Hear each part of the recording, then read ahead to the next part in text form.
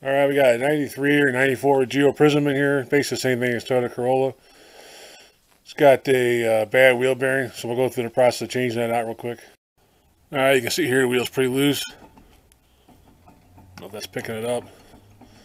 Not the worst one I've ever seen, but uh, you can definitely move the wheel back and forth quite a bit. All right, so I don't have the OTC hub grappler yet, so uh, I don't do these while they're on the car. What I'm gonna, what I do is pull the whole uh, hub assembly out. So you want to uh, grab the two 17 mils behind here that hold this uh, caliper bracket on, and we'll pull that off. So that'll be uh, the two 17s. Pull those off. They're back here, and then we'll suspend this out of the way and uh, remove the rotor, and then we'll take the axle, tie rod, and ball joint out. All right, so hang your caliper up on your spring there, and then uh, go ahead and pull your rotor off. And then uh, we'll straighten this back out and get this uh, axle nut off. And you got the three bolts on the ball joint and one on the tie rod, and then of course these two. And the uh, spindle will come right out. All right, 30 mil uh, axle socket, and then this should come right out. Wow, that was really loose. Kind of push on it, make sure it'll go in, which it does. So we can take this off. So uh, we'll go for these two next, and then the ball joint and then tie rod.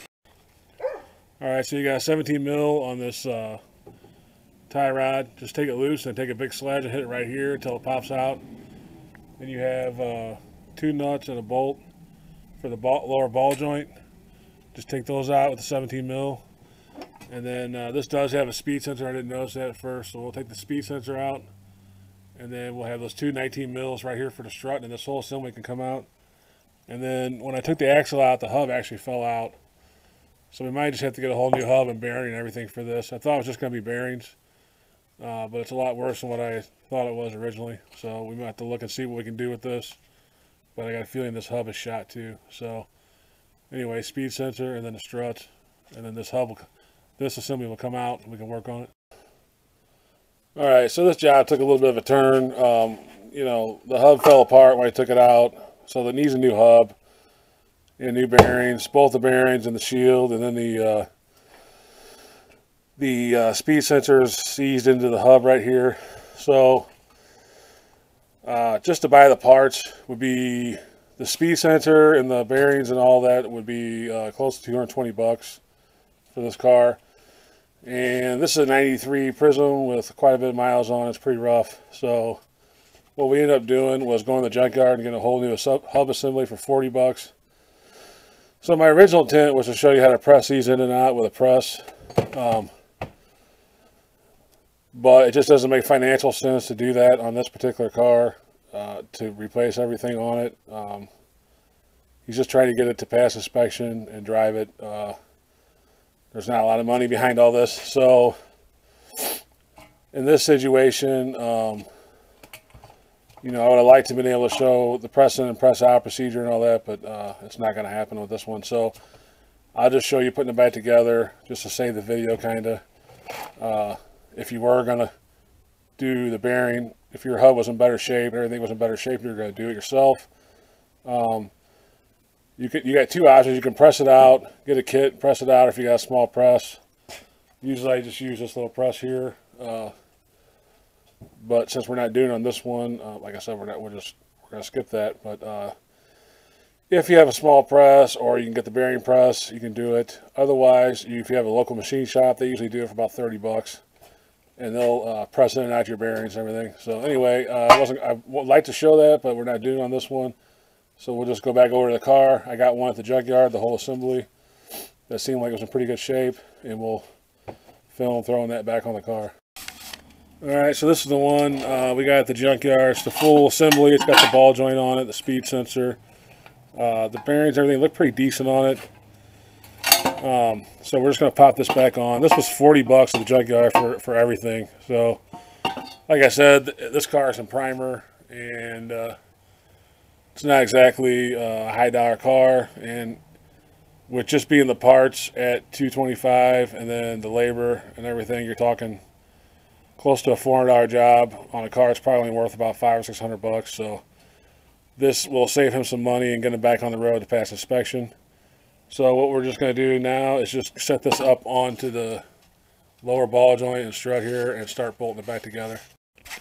All right, I got the three, uh, the two nuts and the one bolt for the uh, lower ball joint, 17 mil. We'll just pop those back in real quick, and that'll attach this hub to the lower control arm here. Then we'll slide the axle in and then put the uh, strut bolts in. So, uh, hit the wrong button on the camera here. So these three will go in next, and then uh, we'll slide the axle in. Maybe put a little lube on it, kind of lube it up, and then slide the axle in. All right, so once you get the bottom ball joint in, you got the three uh, 17s, put, slide your axle in to the hub, and then we'll push it up against the strut here and put those bolts in. And then all you really got left is the brakes and the tie rod. So we'll uh, slide these in. Oh yeah, the, the speed sensor, which goes up behind this wheel well here. You have to pull this down a little bit to get to the connector. So uh, anyway, yeah, we'll put this in next, and then uh, hit the axle, tie rod, brakes, speed sensor. All right, so you got the two 19 bolts, uh, 19 millimeter bolts. So just take an end on this, open it on this, and uh, go ahead and run it down. All right, use your 30 millimeter axle socket, tighten this down, torque it down to spec. Put your castle nut back on there, uh, dust protector and uh, cotter pin.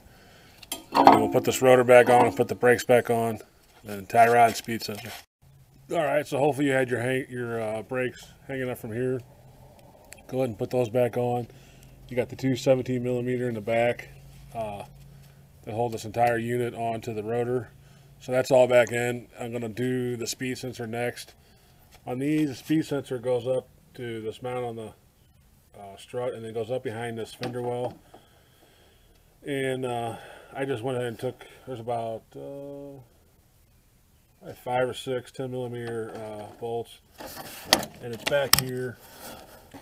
And this is where it plugs into. And then the, the other, the speed sensor comes up through here and goes kind of behind this uh, wiring harness here and then hooks in right here. So just be aware of that. If you have, if you end up changing the whole hub and it comes with a speed sensor, the problem I had with the other speed sensor is, like I said, it was uh, rusted into this hub, and the speed sensor alone, I think, was either 139 or 159, and uh, that's kind of what the deal breaker was uh, as far as going to the junkyard and getting the entire assembly for 40 bucks versus buying a new hub, buying all the new bearings, seals, and then uh, the speed sensor you're looking at, I think I priced it out about two, 225 250 to O'Reilly's. So this whole hub is 40 bucks it's in good shape. So anyway, we'll go ahead and uh, mount the speed sensor here, and then there's a bolt right here uh, in the in the fender well that it bolts that this bolts to, and then it goes up behind this plastic. Plug it in, and then put your bolts back in for your fender well. All right, so the speed sensor's back up in there and hooked up. I got the fender well uh, back in. It's all self-explanatory. Tie rod's in. So all that's left now is the wheel. So like I said, this video I was gonna show pressing the bearing in now, but it just didn't work out with this car. Uh, but this is pretty much procedure. I take it apart, and uh, if you're gonna take it to the machine shop to have them do it, or put it in your own press, or whatever you got going on. This is basically how you tear it down to get to that point. Um, a little disappointed I wasn't able to press it out, but uh, with all the issues with this hub and the bearings and everything, it just would have been too much money for this particular car. So anyway, I'm going to end it here, uh, and we'll catch you on the next one.